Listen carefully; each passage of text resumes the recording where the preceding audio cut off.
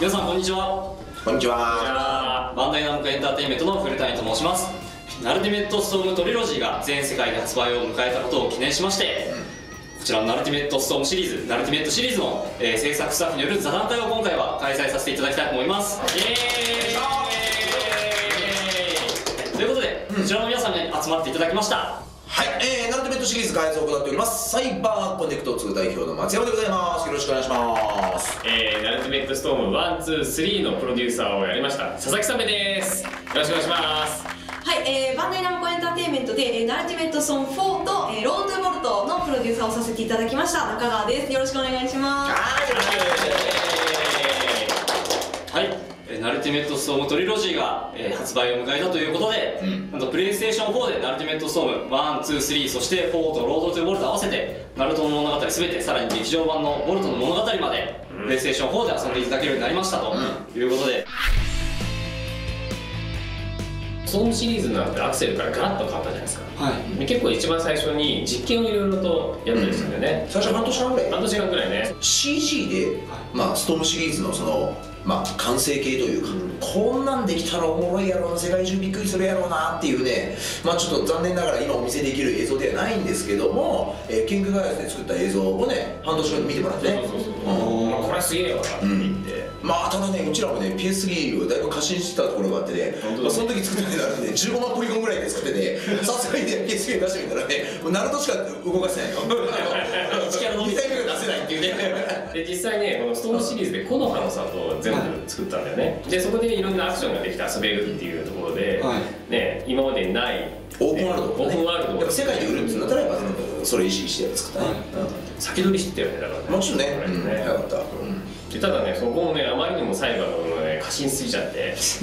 中日金が一応重要あるじゃないですか、はい。ね。でさらにね大きな蛇が出てきたりとかさ、あったじゃないですかオロチマルの、はい。で篠森からね。ね。そうそうそうそう。で篠森作ってたわけですよ。そうそうそうそう。ね全然間に合わないとスケジュールが。お蔵入りですよ。いやまああのちゃんとね期間内にスケジュール通りにあと予算内で最高のものを仕上げるのが仕事なんで、えープラン B の提案もね一部分のクオリティにやっぱ同化した状態で魅力的な作品にするからちょっとここ下げる代わりにここ立ちさせてっていう提案をしてね。でそこでできたのがコナハの砂糖を使った鬼ごっこみたいなゲームをね作ったんだよね。これがまたすごいつまんなくてね。あそれプロトタイプの頃ね、うん。はいまああれだって自分たちでボツにしたじゃん全然思んなかったから全然面白くないわこれ苦労の果てにやっぱストーンマンはやっぱねできたよね。やっぱストーンシリーズの初っ端ってこともあってさ、やっぱこう見た目の表現だったり遊びとのやっぱバランスであとはやっぱ PS3 とは何かっていうね、うん。今までやっぱ PS2 とは決定的なやっぱ違い。今までできなかったやっぱ体験をねここまでできるあれまでできるっつってねだいぶ風呂敷広げたところもあったんでだいぶね捨てたところもある。まずはしっかりとチャレンジングなその何をやりたいかっていうところを膨らました上でってことですね、でね一番すごいこだわったのが殴られた時に顔の表情がギャッと変わるとかあるんだね、ありますねその切って死の森入れてくれよって言いながらいやここは重要なんですよ。この顔の表情が変わるのが最も重要なんですよ。模擬よりもキャラクターだよ。いやいや森でしょって。いうなんでだよ。ちょっと待って。ミーティングから8年ぐらい前に戻ってるわ2017年。今当時の最先端ハードでやれることもやっぱ増えるので 2D から 3D そして、えー世界中でやっぱこう振り向いてもらうためにはいわゆる、まあ、シリーズも恒例になってますけども超アニメ表現っていうまるでそのアニメのすごい作画を自分でこう動かしてるかのようなね、あの感覚で遊べるようになるっていうものを最初に打ち立たのはやっぱこのストームシリーズのやっぱ記念すべきワンだったんで、ストーム1はねワールドワイドで大体70万本が、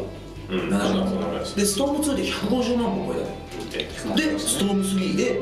ついに200万。言いましたそうですね。でその時に岸野先生に。また色紙を書いていただいて。そそう。でうちらのその最初に100万本超えた時も先生すごい喜んでいただいて、ね。ここら辺ぐらいの時にあの1000万本超えたんだよね確かね。うああワールドであワールドであその時にねその時に岸野先生から。そう。んうん。まあ、ナルトの目が丸なんですよね。そうそうそう。で1000でそうそう1000万本ってね。えーこれ嬉しいですね。それ用にやつが数書いていただいてるんでね、うストームソン4 4そうそうですこれ発売の前に書いていただいたものですね。以上のナルトゲームはもう僕には想像できませんってですね。最高のゴミぐらいですよね。素晴らしいですね。どんどんこれあのストームシリーズ対応言語が増えていってストーム4なんかはもう13言語13言語最後なんかアラビア語にまで対応してるからね。一体何億人をカバーできるんだっていう。いやいや本当ですよ、ね。うん。なんでたくさんの国で支持してもらえて、世界中にお客様がいらっしゃるので、こんなに幸せなことはないですね、はい。うん。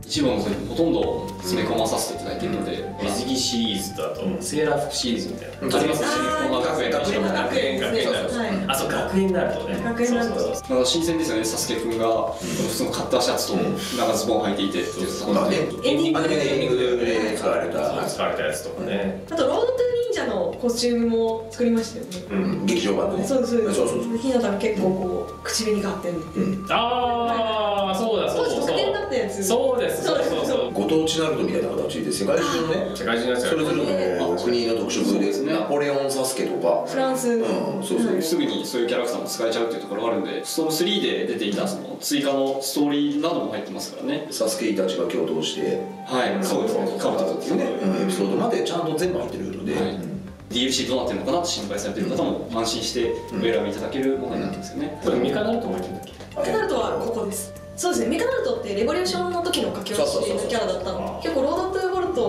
の時にまあ全部のシリーズをこう、まあ、この一本で楽しめるようにしたいっていうところでということはこの2つがあれば完全っていうことだね。そうですね。うんそうだね。ちなみにあのご当地ナルトシリーズもここちょっと復活して南米コスチュームだと台湾うん。のコスチュームを入れましたね。まあ本当豪華だよね。豪華ですね。うん。世界中回ってプロモーションしてきましたけども、まあ、いろんなね、えーメディアの方からインタビューも受けてきましたけど毎回その各シリーズ作っていく時にあのなんでこんなにそのこだわって、えークオリティの高いものが作れるんだって、まあ、聞かれることもあるんですね。その時にも必ずお答えしてたのが毎週「少年ジャンプ」で連載されている岸本先生の書かれるナルトが今もずっと面白いからですっていう。これが我々の一番のやっぱこうモチベーションなんですね。だから我々ももっとこだわってもっとこの面白さを世界中の人にあのゲームを通して、はい。あの伝えていきたいっていうこのやっぱスイッチは岸本先生がやっぱ押してくれたので、原作の漫画そして、えーテレビアニメうん。にはもう本当にやっぱ我々感謝してますね。テレビアニメのやっぱストスタッフ自体は本当に素晴らしい人で、普通ゲームとテレビってあんましね交わることあんましなかったりするんですね。まあね原作っていうところは当然一緒ではあるから、だけどナルトって作品自体はやっぱ伊達監督が本当に素晴らしい人で、テレビアニメが作られてる、えー、伊達監督ねそうですねうん毎回もコンテをたくさん持ってってそうそうそうそうねお話を聞いて全部チェックしてます奥義の演出もそうだしストーリーのね中におけるカットシーンのあの演出とかボスバトルの演出なんかも毎回伊達監督のところにも持ってってたし、やっぱあの岸本先生にも定期的にねあのご赴任いただきながらやっぱ作ってきたんで我々だけでもちろんあのストームシリーズ作れてきたわけじゃないんで、それぞれがもう一緒になってこうナルトの良さをいろんなところで出せるような素晴らしい作品に仕上がっていっているっていうことですよね。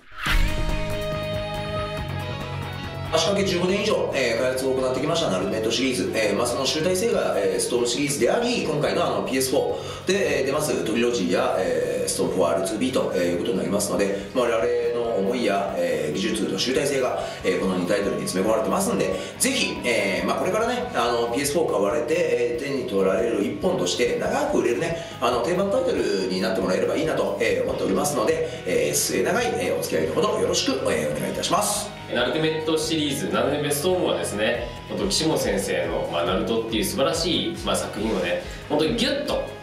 えー、全て入っておりますのでね、えー本当に単行本を読んで、ね、こうなると本当にいい話だっていう時に、もう一度ちょっとゲームをね、えー、ストーム1から、えーやってもらうとですね、えー改めてこの素晴らしい、ね、ナルトっていう世界観をですね感じることができるかなと思ってますのでねぜひともですね、えー皆さんで遊んでいただければというふうに思っております。ナルトっていう作品自体もずっとまあ続いていて、えーとまあ、連載漫画の方もですねあとはアニメの方も今はあの終わってボルトの方もまだまだ続いてはいるんですけれども、まあ、そのタイミングでちょっとまあストームフォートボルトという形でちょっと自分の方でもあの制作関わらせてもらったんですが、まあ、本当に世界中にたくさんのファンの方がいて多分これからもどんどんどんどんファンの方が増えていくんだろうなって思うようなすごい素晴らしい作品だなと思っております。というところでですねあのしっかりともう今までナルトを見ていた方もそうじゃない方ももうこの2本があれば全部楽しめるようにあの愛情込めて、ね、一緒に作っておりました、は